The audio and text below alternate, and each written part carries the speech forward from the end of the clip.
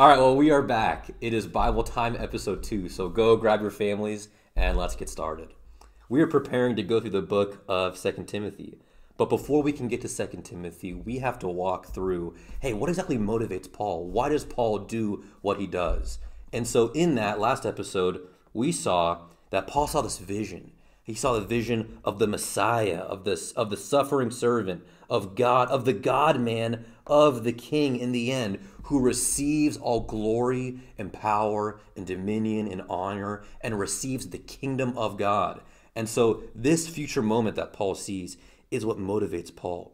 Why does Paul do what he does? Because he realizes that this one is Jesus Christ, that Jesus Christ is all the things that Isaiah and Ezekiel and Daniel connected together. And so Paul's mission now is simple prepare the Gentiles, get the Gentiles ready for this future moment.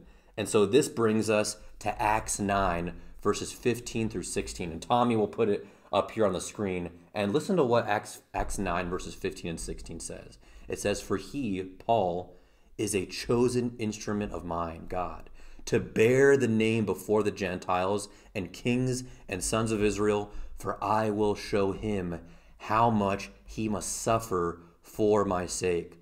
And if, the question is, why is Paul going to suffer? What we're going to learn is that Paul is going to suffer because he's the first man out to battle. That Paul is leading the charge, and that God will use Paul to break the gospel through to the Gentiles and therefore to the ends of the earth. And so this is precisely what happens in Paul's first missionary journey. Paul sets sail in Acts in Acts 13 and he hops on his boat and here's his mast and here is Paul and he heads out. And he heads out and eventually he lands in the town of Lystra.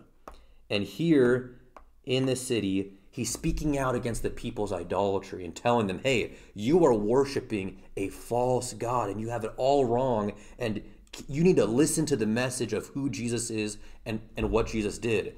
And some of the Jews from a neighboring city catch wind of this. And so they gather all the people together and they amass this crowd. And what the crowd does is that they take stones and they hurl them and they stone Paul. And they stone Paul to such an extent that they actually think that Paul dies. And then they go, oh, there's his dead body. We don't really want to look at it. And so they take his dead body, his dead body, quote unquote, and they drag him out of the city.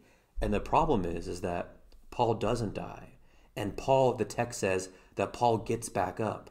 And what you would what you would expect is that Paul would do something like, you know what, this Bible stuff really isn't for me this Gentile, you know, mission and the future glory of Christ. You know what? This stuff is great and this moment is like epic and all, but I almost died. So you'd expect Paul to go, you know, maybe I'll go back to making tents or do whatever I was doing before. But instead, in Acts 14, the text says that Paul gets up and he goes to the next city and he continues preaching the gospel.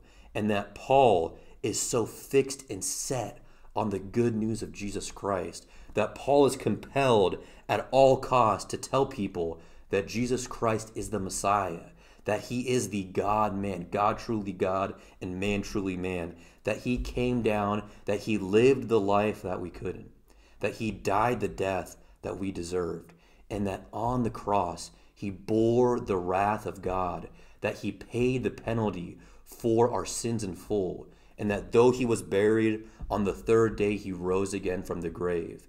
And that in his personhood and work, you learn that Jesus Christ conquered sin and he also conquered death. And that in him we have all the things that we need most in life, whether that be forgiveness, reconciliation, where our relationship with God can be mended, or the righteousness of Jesus Christ and eternal life.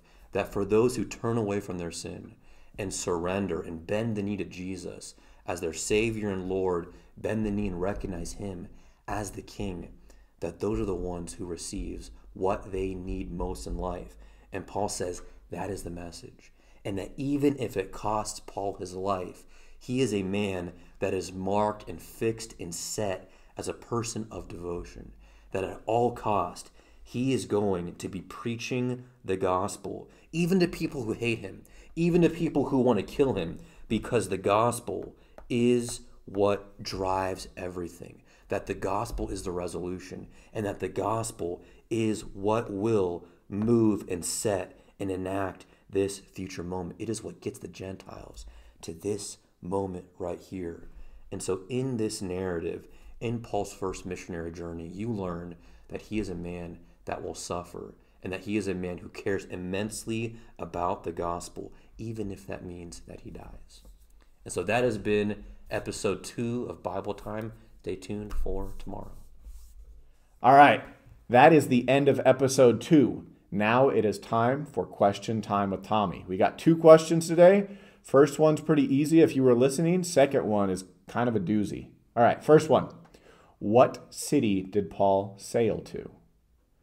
And the second question is Would you follow Jesus even if it meant you had to suffer like Paul did? Why or why not? All right, that's it. We'll see you guys tomorrow.